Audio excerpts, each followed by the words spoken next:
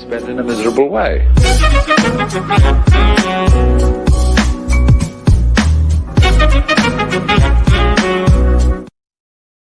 U.S. News El Chapo prosecution rests its case against Mexican drug lord.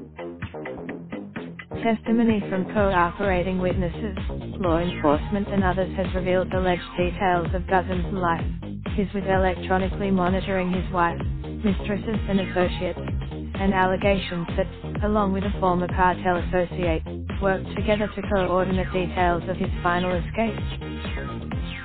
Guzman's wife, Emma Coronel, has not been charged with a crime. A spokesman for the jurors have seen dozens of messages and listened to calls between Guzman and associates in which he discusses drug trafficking and even ordered executions. At one point, a former close personal aide alleged that the drug kingpin once paid to former Mexican President Enrique Pay plus or minus Anita.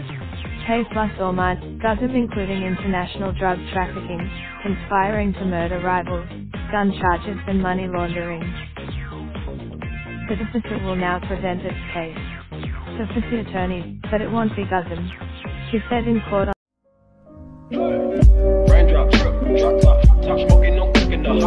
Fucking on your bitch, yeah, dot, dot, dot. Looking up, open the court pot.